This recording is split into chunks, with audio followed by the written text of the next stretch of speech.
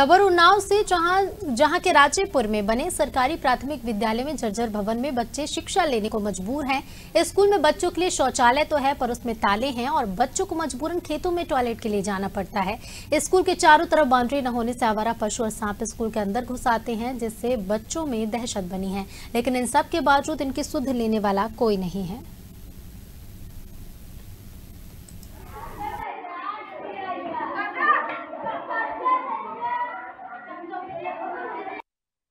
हमारे विद्यालय में ये समस्या है कि पहली बात बाउंड्री नहीं है, जिसकी वजह से ये जानवर और इस, ये जो स्नेक हैं, बहुत यहाँ पर आते हैं। मतलब बच्चे पढ़ रहे हैं, बीच में बाउंड्री ना होने का सामने रेंगते नज़र आते हैं।